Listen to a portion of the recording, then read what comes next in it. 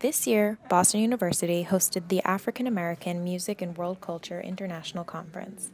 To kick off the weekend, an opening reception was held in the BU Art Gallery at the College of Fine Arts to welcome those in attendance.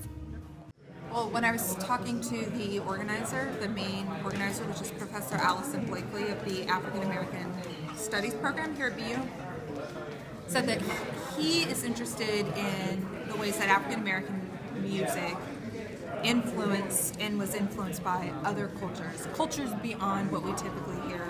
You know, you think about the Harlem Renaissance, or you even think about jazz in Paris. You hear that a little bit, but you don't think about other forms of African American music, hip hop, or even classical music, and all the all the um, the discourse surrounding those other forms. Um, so I think he's interested in African American culture and their role in lots of different types of music. Tolano, a PhD candidate in the History of Art and Architecture program at BU, was the curator of the gallery exhibit Making Connections The Art and Life of Herbert Gentry.